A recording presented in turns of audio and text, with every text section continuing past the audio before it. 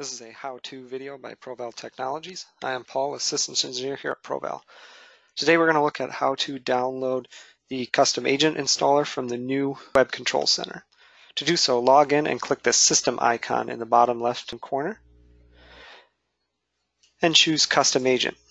From here you can choose the destination by clicking a client and choosing the location, and then you can choose the installer type, which typically will be the MSI and then you can download that custom installer. Uh, you can also just download the default agent, which will put the agent under the new computer's location of the MSP. And again, you have the option to choose the installer type. Check back regularly for more how-to videos.